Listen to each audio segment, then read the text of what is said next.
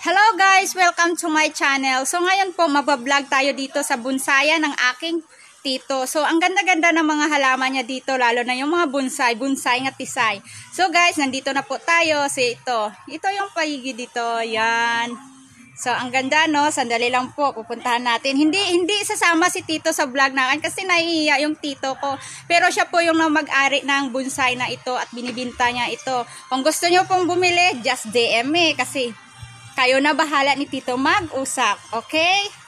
Ayan po Tito, anong pangalan ng bonsai na yan? Paikos. Ito Oo. ay Paikos. Magkano po yung ibibinta mo yan? 55,000. O, 55,000. Tingnan nyo guys, sulit talaga. Sobrang ganda talaga. Tinsay nga tisay. Tisay nga bonsai. Then Tito, magkano to? Anong pangalan ng bonsai na ito? Ah, balite. Balite for sale. Magkano po yung binta mo? 30,000. 30,000 lang po ang balite. Kung gusto nyo po yung mga bonsai ni Tito, dyan. So, continue po tayo. Ito, Tito, anong pangalan ng, ng halaman na to? Ah, Pitogo. Native Pitogo po. So, bibinta mo to magkano po? 25,000. Pitogo for sale for 25,000 po. So, tingnan nyo, ang gaganda ka ta- talaga. Sobrang ganda. Yan. Ito po, Tito. Anong pangalan ng bonsai na ito? Malbire. Mulberry for sale. Magkano po yung binta mo? 40,000. 40,000 lang po, Mulberry for sale. Sobrang ganda talaga. O, tingnan nyo na mabuti. Yan po, Tito. Anong pangalan ng bonsai na yan? Christmas Bombel. 21 jewels. So, magkano binta mo? Ah, 25,000. So, 25,000 lang po ang Christmas Bombel Bombel Jewel. Oh, 25.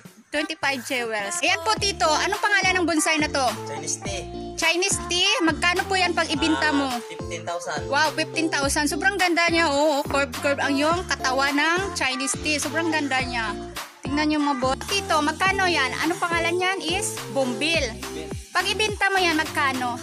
6,000. 6,000 for sale Bombil po. Sobrang ganda po. Violet color, or lavender. Ano po, Tito? Anong pangalan yan? Talungon. Talungon for sale. Magkano pag ibinta mo? 7,000. Pila? 7,000. 7,000 lang po. Sobrang ganda, no? Ayan, Tito. Ang ganda-ganda. Anong pangalan yan? Yellow Bell. Yellow bell po. Pag ibinta mo, magkano? Ah, 25,000. Wow, 25,000. Sobrang ganda, oh. Ang ganda. Pag mamulak daw yaw is yellow din yung bulak niya.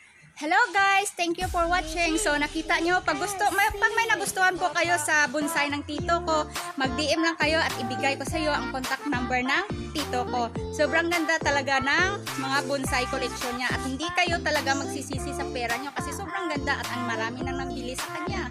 So thank you for watching and I love you!